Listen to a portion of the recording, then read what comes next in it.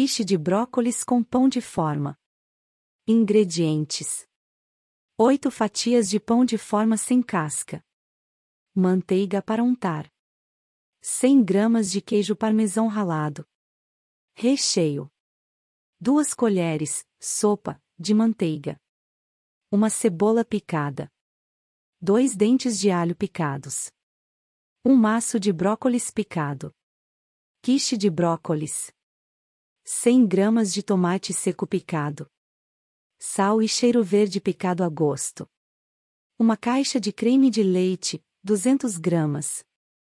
Uma xícara, chá, de queijo mussarela ralado. 3 ovos. Modo de preparo. Para o recheio, aqueça uma panela com a manteiga, frite a cebola e o alho por 2 minutos em fogo médio. Acrescente o brócolis picado e refogue até amaciar. Junte o tomate seco, sal e cheiro verde, misture bem e desligue o fogo. Deixe esfriar, misture com o creme de leite, a mussarela e os ovos. Acerte o sal e reserve.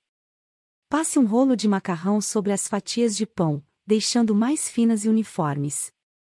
Corte cada uma com um cortador redondo, coloque em uma forminha para cupcake untada e ajeite bem para cobrir o fundo e lateral. Divida o recheio entre elas, polvilhe com o parmesão e leve ao forno médio, pré-aquecido, por 20 minutos ou até firmar e dourar. Retire, deixe amornar, desenforme e sirva em seguida.